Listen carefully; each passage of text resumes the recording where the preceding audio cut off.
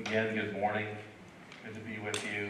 Um, I didn't mention it earlier because I think I know most of you, but just in case we haven't been introduced, my name is Andy Lovelace. I'm the lead pastor here at New Horizons. And we are in the midst of a new series on the book of Psalms. Uh, we are going to be looking at Psalm 2 this morning. And the book of Psalms, uh, we did a brief introduction. I'm going to recap that a little bit uh, this morning from last week, our introduction, because Psalms 1 and 2 really fit as an introduction to the whole book of Psalms. Now, we don't typically see it that way because uh, we, we often, or I'll speak for myself, often just look at the book of Psalms as 150 different poems or songs that were written, hymns, and they're just kind of all thrown in there right? Just this big library of songs, right? But they actually have some organization to them. Uh, they're split into, divided into five books, divided out that way, and that's why when you read through the book of Psalms, you might notice where it says book one, and you go through a certain amount, and then you get to book two, book three, book four, book five.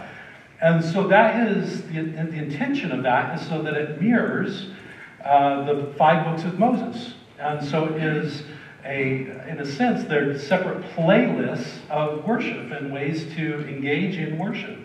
And so that's one way that I think about it, and that's why we use that imagery there, is kind of like uh, modern times you might, whether you use Spotify or some other resource, to create a playlist.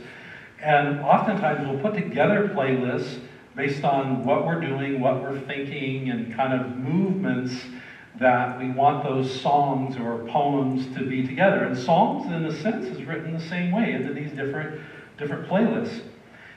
So you've got the five books, and each one of those five books concludes with a doxology. So there's a bit of a kind of a culmination, right? It's a recognition of God's uh, glory, God's praise being uh, sent up to Him. But in, in, uh, along with that, uh, the first ones that I mentioned, Psalm 1 and Psalm 2, are in a sense an introduction, and they give us this overarching picture of what the whole 150 Psalms is going to be about. Uh, and we don't know the authors. They're, those are listed unknown. Most of the others, there are some other unknowns, but the majority of them are David, but there are other authors for these uh, Psalms as well. So it's not all David, but he did write a significant portion of them. So these, these first two, we looked at last week, Psalm 1. And Psalm 1 is a wisdom psalm. And so we, we'll get to the genres in just a moment. I'll review that. But it's a wisdom psalm that contrasts what happens when we choose to live apart from God versus what happens when we live with God. And so it's, it's putting these two ways of living life up against one another. So the intention is really to direct our focus back to the Garden of Eden. And, sometimes we miss this as followers of Jesus. We spend a lot of time in the New Testament, and rightfully so, we should, right? Discovering through the Gospels, we discover the life of Christ and his teachings. Uh, throughout Acts, we see kind of a history of the early church and how God was on the move in the early church. In Paul's letters, some doctrinal, some teaching, and application. But there's very important things that get communicated in origin stories, how things began, right? And so when we look back to the garden, what God was doing there, he was setting in place in the way that the origin story that God tells how life began is that he's contrasting that very same thing right from the beginning. The intent is that I will be in the garden, I will be your God, you will be my people, and we're going to fellowship together in this garden. There's not going to be anything between us, right? That was the idea with Adam and with God. And then also Eve, who is a part of Adam, and that's the way it says. He didn't just take a rib of him, he took a half of him, right? So his other half. And so they're in fellowship with God. Well, what happens ultimately, he says, listen, you can't eat from the tree of knowledge of good and evil you, you're, you're going to live with me in the garden and you're going to live under you know, my guidance, and I'm going to define for you what's good and what's evil. And when I do that, you're going to flourish, you're going to have life, and the, the garden is going to produce everything you need, and we're going to live together. But those of us who are familiar with the story knows how that goes. They say, nope, you're holding back from us, God. You're not giving us the whole story. And they're actually tempted by the serpent who tells them God is holding back. He doesn't want you to know what he knows. And they make the choice in the story in the garden, they make the choice. They say, I think the serpent is right, God isn't right. And so I want to know what God knows. We're going to choose for ourselves what is good and what is evil. That gives us the whole picture, really, of what then is the battle that goes on continually throughout all of Scripture. Mankind defining for, defining for themselves how life should be lived. Is it going to be on their terms or is it going to be on God's terms? Are we going to live under God's rule or are we going to live under our own rule? Our right to our life, our way. Well, the psalmist is saying the same thing in the wisdom psalm, Psalm 1 which introduces the genre of wisdom psalms, but it also covers over the whole book of Psalms and says you're going to see this contrast over and over throughout the whole book of Psalms of people who decide to define life on their terms apart from God and those who plant themselves firmly in God's instruction. And when it uses the word uh, instruction, it's re- it is referring to the law of God and the scriptures and God's teaching, but it also is referring to a much broader sense, just learning from God Himself, sitting at the feet of God, and hearing how to live life as God leads them. And so, those who do that, those who live in fellowship with God, the psalmist writes in Psalm 1 those people are like a tree planted by streams of water, right? And they just grow out, fruit comes out of their life, and they flourish in that life. And so that's the picture that the psalmist writes in Psalm 1. In Psalm 2, which we'll look at today in just a moment, that's a royal psalm. That's another genre, royal psalms. And this is, uh, along with Psalm 1, it's part of this general introduction. And Psalm 2 expands really on what Psalm 1 expresses. Psalm 1 says, at an individual level, you can choose to live for God or apart from God. And the ways in which you choose that are going to have a direct effect in the life that you experience. Psalm 2 continues on that same theme and says that's not just true for you as an individual, that's true of the community that you're a part of. Whether that community is just your family, your extended family, your neighborhood, your community, your nation, or the world itself.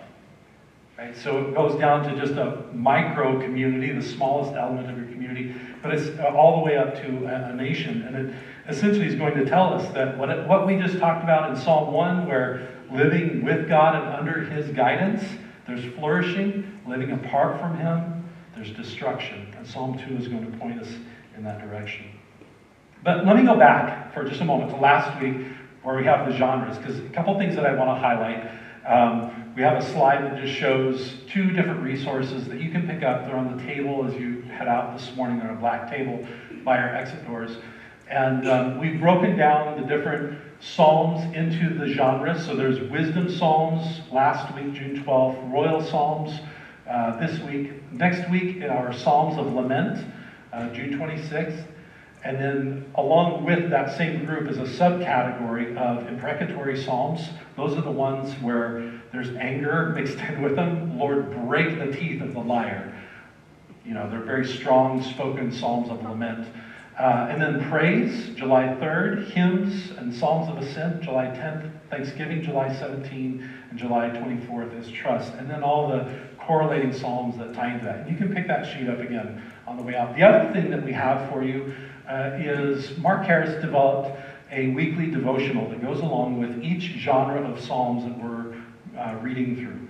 And so this week there is a devotional for week two, uh, which ties back to Royal Psalms. And for each of those, there's a day that it goes through one of the uh, Psalms, not all of them, but it just picks uh, one of the Royal Psalms that is up there, and you can go through it. And he gives an example of how you might go through that, and then it gives you an opportunity to take that step as well. Hopefully, you got a chance to do it last week. Uh, if you didn't, you can pick one up this week, take it with you, and it'll give you an opportunity to do a deeper dive in, uh, into Royal Psalms and Psalm 2 uh, this coming week. So that's on the back table as well. Mark, thank you for that. That's a real helpful resource. So that this stuff, our desires, this stuff gets into our lives, right? It's not just something we attend, but it's something we engage in and we participate, and we wrestle with. So this idea is that we have different genres, just like we have different genres of music and movies, so the Psalms have different genres. They're not all the same. And so understanding the genre helps us really kind of see what is this for? Why, why am I reading it? And also identify Psalms that can communicate what we're feeling. Where are we at? What, what am I experiencing in the moment? Well, here's some Psalms that I can actually read as an expression of praise and prayer as, as I go through it. Before we go to uh, Psalm 2, let me just kind of identify again. What, so, what's the purpose of the book of Psalms? Well, you know, again, many of these were compiled by or, or developed by David, but there are other contributors. And the Israelites used these in their corporate worship. Yep, they were there for part of their temple worship, but they weren't all choir songs. Many of them were intended just for individual use, devotional, uh, personal devotional time to God and being able to sing to God. And the reality is, is that these weren't all associated with good times, right? So this was intended to be, in a sense, a compilation of worship, songs, poetry, verses that they could know and they could recite, and especially it came into to play and help when they were in captivity in Babylon. Especially an opportunity to bring up their praise to God and to not forget. So they could remember the law, but in a sense, it was a way that without the temple, without the structures, and then they're in a foreign land of identifying how do we still kindle this worship and this love for God? Well, it's oftentimes through song. I, have had that experience many, many times. In fact, one of the things I learned early on in my walk with Jesus is that worship is a pathway to move me from where I'm at when I'm frustrated, when I'm angry, when I'm feeling down and low. Worship is that pathway to being in the presence of God and having my thinking and my heart and my emotions more aligned with where God is saying and what He has for me. Any of you experienced that? you're feeling one way, and then you hear a song of worship or praise or something, and you begin to sing it, and it, you're just, you go, you know what? I wasn't thinking this before, but this is right. This speaks to the circumstance I'm in, and it really just it expresses my heart for God. Or it's a song that already you connect and you resonate with it so deeply because it's right where you're feeling. It, it's not changing your perspective. It's just saying you're right. your lament is right. The sadness you're feeling is in the right place because this is a sad thing you're going through. Or you're right to be excited. Your God has done a great thing, and so praise the Lord. And so you just sing along with it because it expresses that. Well, that's what the book of Psalms is like, and it's such a wonderful resource for us now to be able to go into those and just speak them and, and pray them out loud as they connect and resonate to where we want to go with the Lord or even where we're at and experiencing God's presence with us right in the moment. So let's pray, and then we'll look at Psalm 2. Lord, we do love your word. We, we are strengthened and encouraged by it. We are shaped by it, Lord. It, uh, Lord, does not return back void, but it has its purpose in our life. And so, Lord, for that to happen, uh, we really want to be the type of people who, uh, Lord, are, are moldable or shapeable. Lord, we want to be soft in your hands, like, like a potter who is creating a vessel, a jar, or, or a bowl. Lord, we want to be able to be shaped in your hands. So help us as we come to the word this morning, Lord, to to not be firm and brittle and, and Lord, hardened in our ways of responding to you, but help us, God, to, to be compassionate, to be soft, to be humble, Lord, to recognize that we have room still to grow and to be changed. So, Holy Spirit, we invite you to do your work. You are the teacher. And so we pray that you would instruct us in the Word. Holy Spirit, I ask that you would go beyond what I'm able to share this morning addressing each person right where they're at. In the places, the deep parts of their heart and their mind of what you want to shape in them, how you want to encourage, how you want to instruct or correct. Lord, we're open to all of those things, so we invite you, Holy Spirit, to do your work. In Jesus' name, amen. Psalm 2, and again, remember, this is a royal psalm, but it addresses the big picture, and it's kind of an overview of what the Psalms are going to be talking about.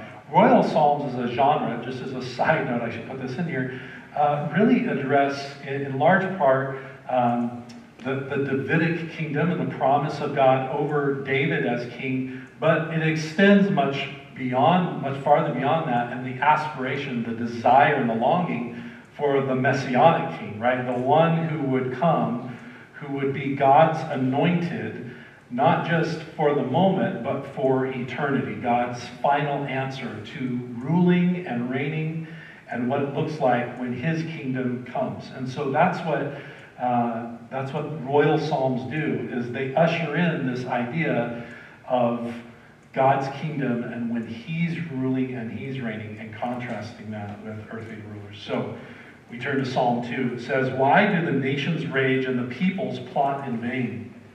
The kings of the earth set themselves, and the rulers take counsel together against the Lord and against his anointed, saying, Let us burst their bonds apart and cast away their cords from us. He who sit in the heavens laughs. The Lord holds them in derision. Then he will speak to them in his wrath and terrify them in his fury, saying, As for me, I have set my king on Zion, my holy hill. I will tell of the decree. The Lord said to me, You are my son. Today I have begotten you. Ask of me, and I will make the nations your heritage, and the ends of the earth your possession. You shall break them with a rod of iron and dash them in pieces like a potter's vessel. Now, therefore, O kings, be wise. Be warned, O rulers of the earth. Serve the Lord with fear and rejoice with trembling. Kiss the Son, lest he be angry and you perish in the way, for his wrath is quickly kindled. Blessed are all who take refuge in him. Again, Psalm 2 is a complement to Psalm 1 it takes this idea of the individual who attempts to live apart from God and it expands it out to rulers and nations who attempt to live apart from God, live on their own terms, and rule on their own terms. It begins Why do the nations rage and the peoples plot in vain? The kings of the earth set themselves, and the rulers take counsel together against the Lord and against his anointed, right? It's bringing up this contrast of a people specifically a ruler and a nation, the people who are under that ruler's uh, authority, who set themselves against God, who have defied God's instruction and God's rulership in their life. Now, this is this contrast is against what does it mean to live under God's rulership. And while God's covenant with the nation, with, with Israel, was very unique and very specific, to have him specifically be their ruler, right? He, God wanted to be their God, and you will be my people. This, this refrain, incidentally, is repeated throughout Scripture. Early on, God says, This is my goal. I will be your God, you will be my people.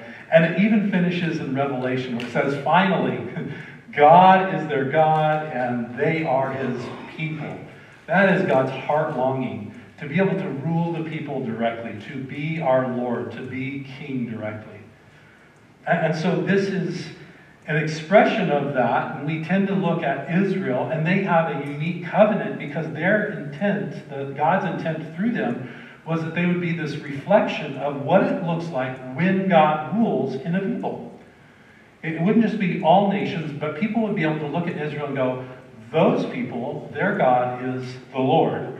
And this is what it looks like when he's their ruler. But we know how the story goes, right? Over time, they say, well, it would really be nice if we had a king too. All the other nations have kings. So give us a king. God says, You don't want a king. I will be your God. You will be my people. No, we want a king. and so the scriptures say, God says, okay, I'll give you a king, but you're not going to like it. It's not going to go well. And surprise, surprise. God was right. It did not go well. They were busy trying to mimic and, and be a reflection of all of the nations around. We want to be like, right, other nations. God says, why? My intent isn't for you to be like other nations. You are to be a reflection of me and what it looks like when you live under my kingdom, my kingship. And so we recognize that Israel has a unique covenant and God has unique purposes for them. But this psalm, too, it extends out to a broader perspective that, that God has a way of blessing nations, even those who don't have a unique covenant with Him.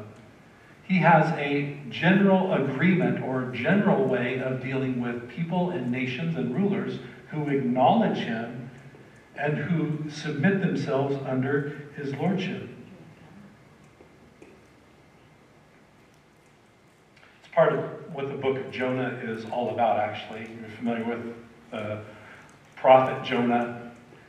Jonah gets bent out of shape because God says, Listen, Jonah, I want you to go to the Ninevites. I want you to go to this people, the town, the city of Nineveh, and I want you to tell them that I'm going to bring destruction on their city unless they turn and repent and they, you know, stop doing what they're doing. And the whole story, it's, it's really, um, if, you, if you have a dry sense of humor, if you like religious humor, Jonah is your book. It's so good. Because the whole story is about Jonah saying, No, I will not do that. The irony here's God's prophet who's one job, you have one job to do, and that is say the things that God tells you to say. And here's the prophet of God saying, No, I won't say what you want me to say. I will run as far as I can away from the people that you're calling me to go to. And the question comes up well, why? Why would Jonah not want to go to the people and tell them what God wants him to tell them? Here's Jonah's reasoning. Why? God, because they're terrible people and you're a good God. And I know what will happen. If I tell them to repent, and they do, which I hope they don't, but if they do, you will forgive them. You are a compassionate God, long suffering, willing to forgive. And I don't want them to experience that. I want them to be punished because they're terrible people. And so, what a, what a hilarious story, right? Jonah running from God. No, I won't tell them. And God saying, Go, you're my messenger. You have to do this. Is it right that you want these people to perish? I care about them. I have a heart for them. So, when we think about Psalm 2, this is God saying, I care about people. I want I don't want people to be punished. I want, don't want people to suffer. I don't want people I want people to flourish and to thrive. And so this is the battle that Jonah's having is he's saying, but I don't care about those people. I want them to be punished because they're bad people. They're my enemies. And God says, well, they may be your enemies, but they're people made in my image whom I love and I want to save and redeem.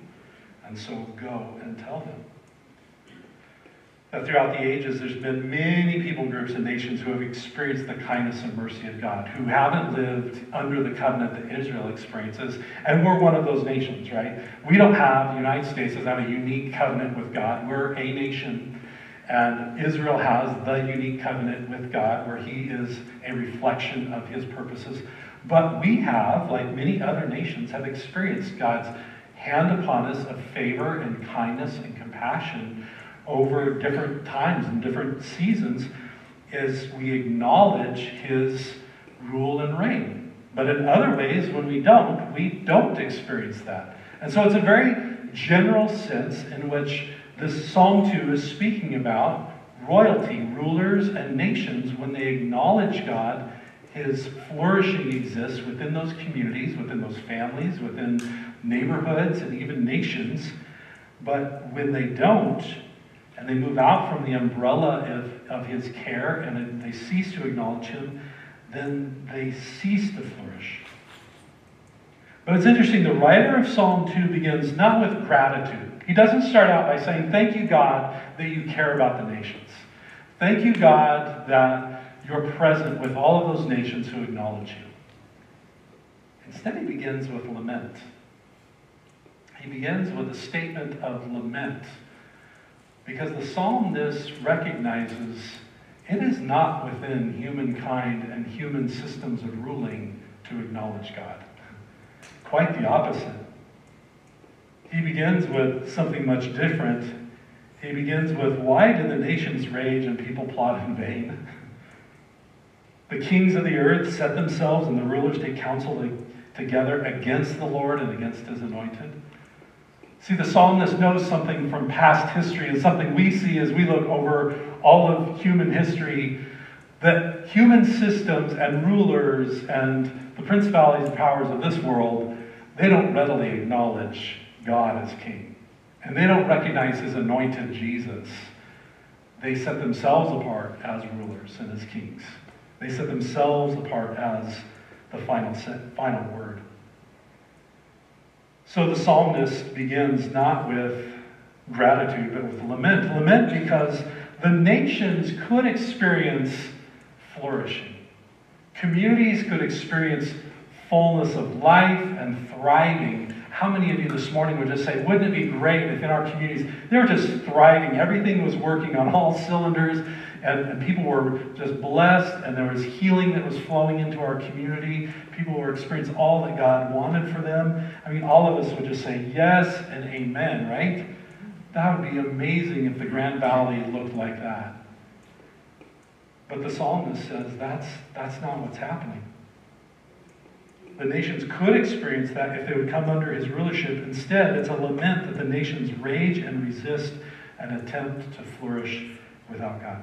So this points us to one of the key elements of the Psalms. And we'll experience this a little more in depth um, when we get to the Psalms of Lament next week.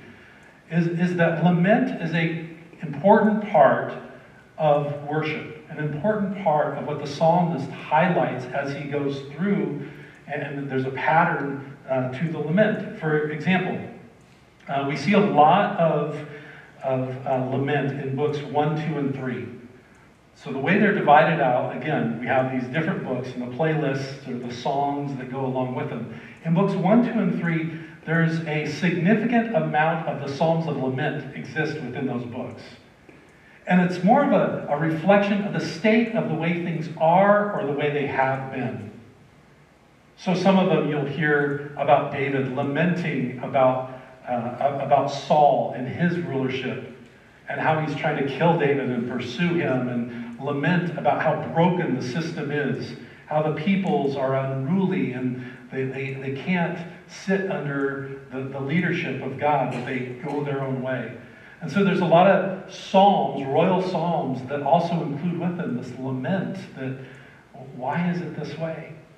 And so it begins, uh, books 1, 2, and 3 have a lot of these in. Then as you move to books 4 and 5, they start projecting forward to the future king.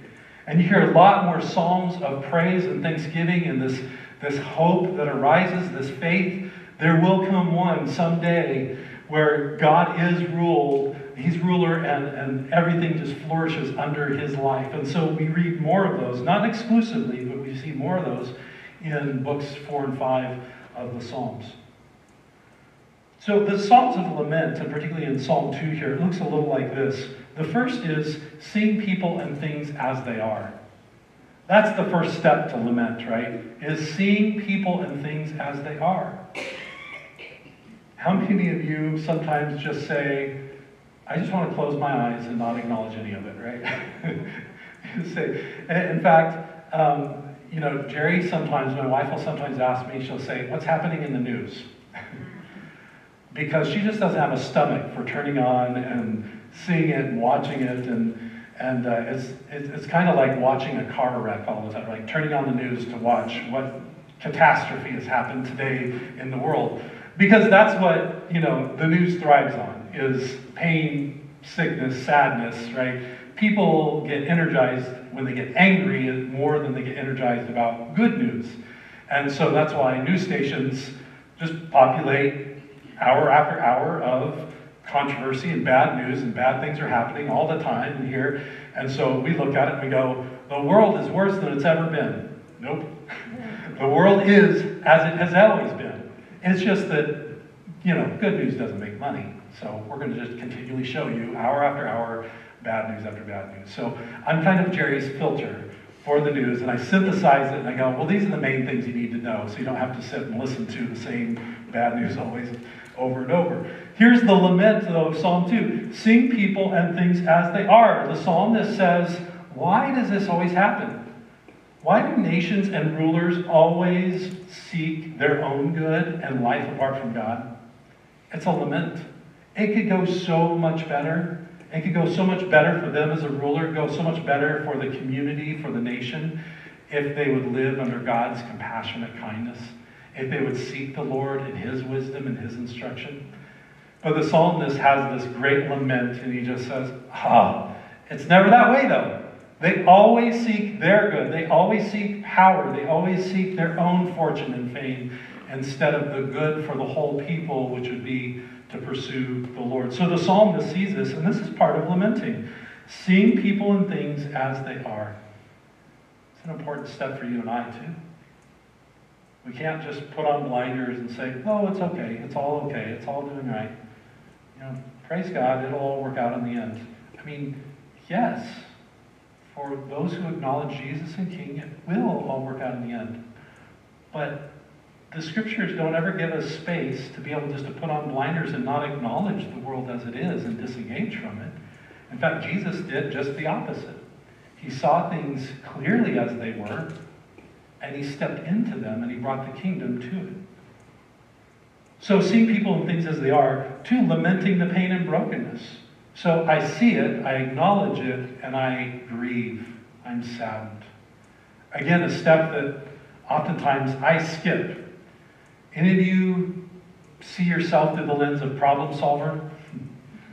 It's like, well, I'm done with the grieving. Let's fix it. Let's do something about it, right? And, and that always goes over well, especially with spouses, right? I hear what you're saying, but I'm just going to fix it. I don't, we don't need, we need to move on to fixing stuff, right, in, in this.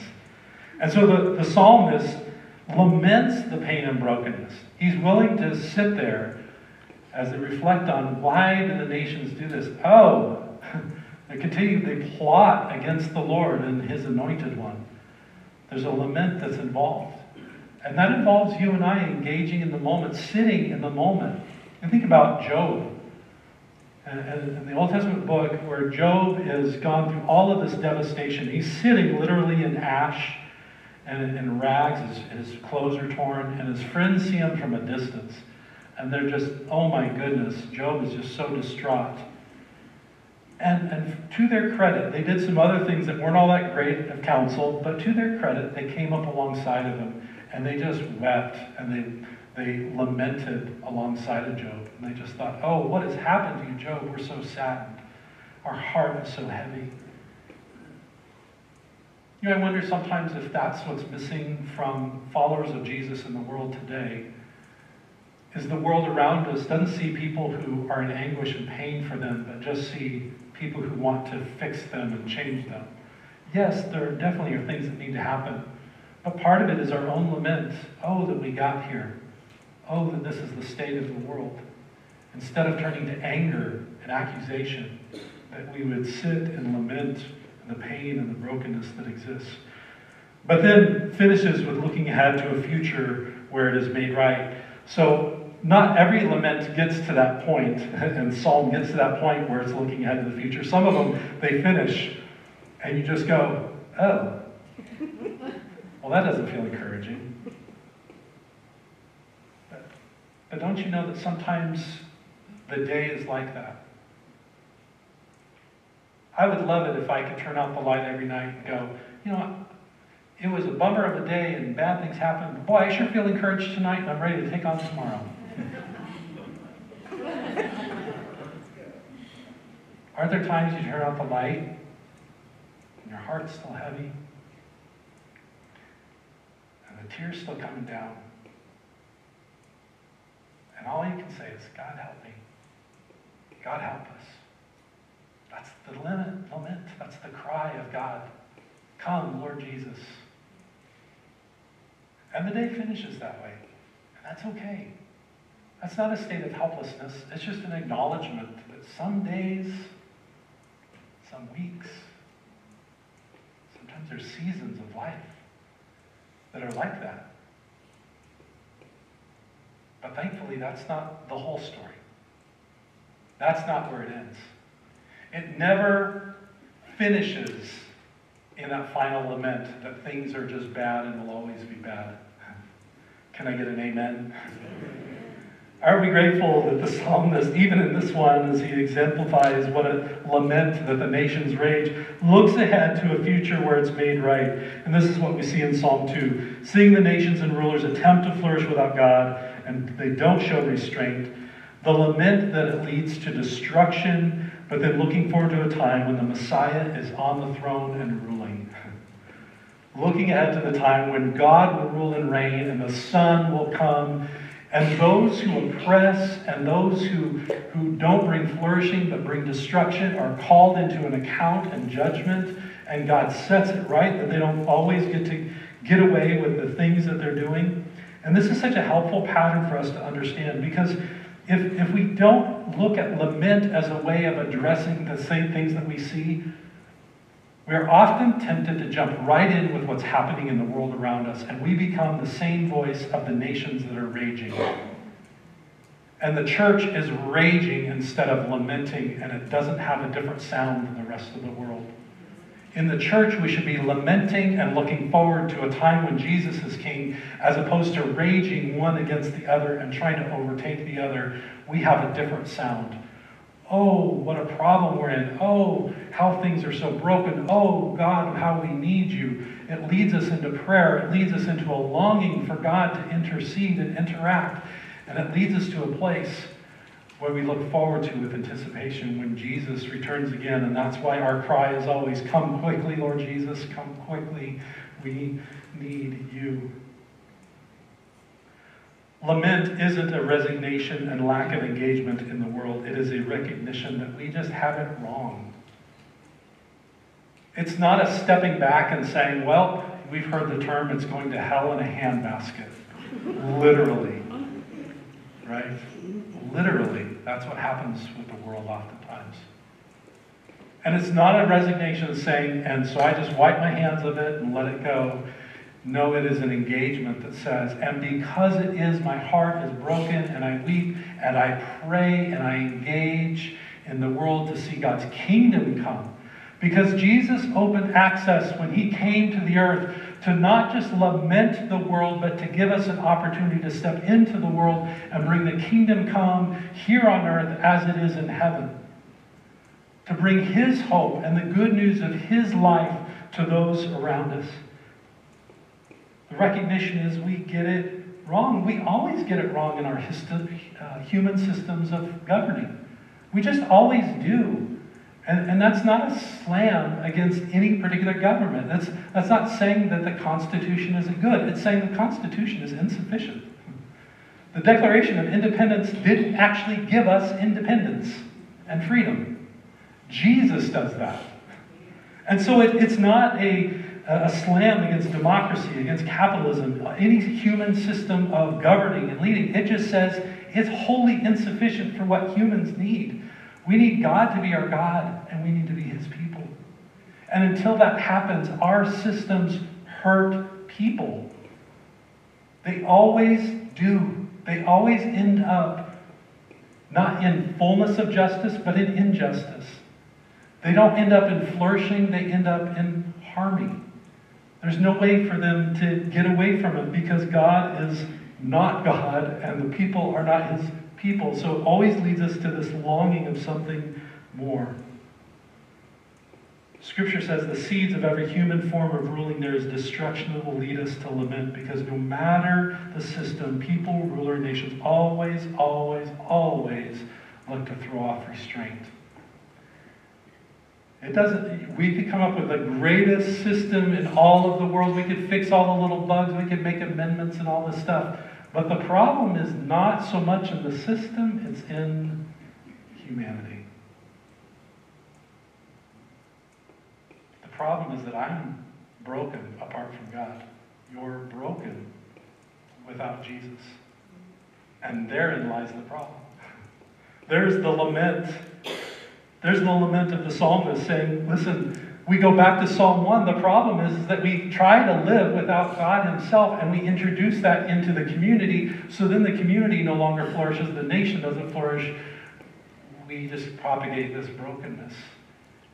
And that causes us to come to this place of sadness and say it's broken, but it also causes us to look ahead and say, Jesus, thank you that you came and that I can introduce hope and healing through your life into my community.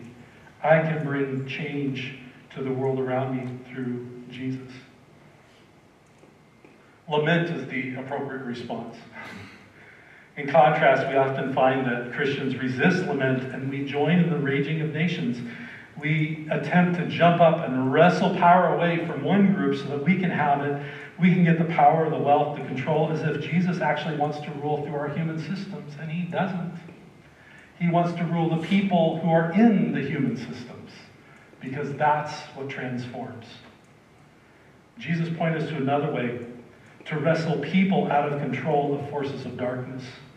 Lament says that people are under control of dark forces and we need to see them set free in Jesus Christ. Amen. That is what freedom looks like. That's what thriving looks like. Joining the raging of nations says that people who hold different views than us are the enemy, and we have to wrestle these systems out of their hands so we can make them act and think like the ways that we want them to. But flourishing happens from the inside out, not the outside in. I, I love what um, Andy Stanley, pastor in, in the Atlanta area, you know, well-known pastor and author, having gone through the pandemic and he faced a lot of different challenges in his own congregation and people who you know had a lot of things to say about him because he's a very popular pastor. But one of the things that he clarified because people were like well you're un-american and you're not fighting for our freedoms and etc it just kind of part of the thing that was going on while churches were pausing and not doing services on site for a while but he, says, listen, this is, this is what we're getting wrong in the church. He says this Jesus is not passionate about America. Jesus is passionate about saving Americans. Right? Jesus has no use for saving America. Jesus is passionate about saving Americans. There's an important distinction, church. There's an important thing that we recognize in that. Because we could save America and lose Americans, and Americans that are lost have an eternal time away from Christ. America itself, it doesn't matter what you do, it's going down. That doesn't mean, again, that we just pull our hands away and we don't do anything. It just means, what are you passionate about? Are you passionate about saving a system? Are you passionate about seeing transformation in the people who live in the nation. Because Jesus is most passionate about Americans. He's passionate about Bangladeshis. He's passionate about Mexicans. He's passionate about Italians. And the list goes on and on. He's passionate about people. And the systems in which they live thrive when those people know Jesus and they are thriving because they bring his kingdom into those systems.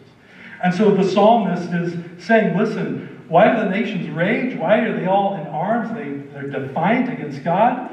Because they have, the people themselves haven't been transformed from the inside out. Praise be to God that through Jesus Christ, we can be transformed from the inside out and we can bring change to the nation. That doesn't just change a law, that doesn't just change a directive from the top down, but it changes people from the inside out, where they can truly thrive and flourish so, how do we experience the thriving until Jesus comes as King forever? The psalmist says it this way Kiss the Son. Kiss the Son, lest he be angry and you perish in the way, for his wrath is quickly kindled. Blessed are all who take refuge in him. That's the answer. You and I, we kiss the Son. We turn our face towards Jesus and an expression of embrace instead of hostility. We lead other people to see Jesus and to kiss the Son, as the psalmist says. to welcome him into their life. That kiss is a gesture of, you are welcome here. I acknowledge your authority, your place in my life. That's where real transformation happens, is when you do that, and I do that, and your neighbor does that. You want to see a real revival in your neighborhood and in this valley? Begin to see people's the, the, the direction of their life move from away from Jesus to Jesus, where they bless him and they kiss the Son. And that will transform everything about our communities and our nation. We help people turn their face back towards God and embrace and affectionately bless and honor His anointed, Jesus Christ. Then and only then will it go well for the nation and its leaders. Anything less than that is really putting a band aid on a wound that truly needs to be healed. I was reflecting about that as I was finishing up, and we'll wrap up with this. Don't you love how band aids are skin tone? Right? They attempt to be at least. Sometimes it's like really paley skin or peach, you know, but they try to get you skin tone color, right? So it doesn't draw attention, you know, so that it just kind of covers over, just kind of blends in with your skin. I remember at times, the first time somebody told me, I, I put a band-aid uh, on a wound, and uh, they said, well, don't, you don't need to put a band-aid on it. It actually needs some air because it needs to form a scab. That type of wound, you know, it's going to be helpful if you expose it let it get, because otherwise that moisture is just going to stay a wound under the band-aid. You know, you got to open it up and let it, uh, let it heal. Sometimes that's what I'm more concerned about. That's the lament. As I want things to look good as though there's no wound. And so I want to stick a band-aid on. God, if you would just help me get this together so that nobody can see that there's a problem, you know, I went for years with a deep seated issue, a life controlling habit that I just went years and years just putting band aids over it so that the perception could be, oh, I'm fine. I'm actually doing really well. Inside, I wasn't thriving at all. I wasn't flourishing. I was slowly dying in that area of my life. What I needed was to bring it out and to be open and into the light. And I needed Jesus to be able to bring healing.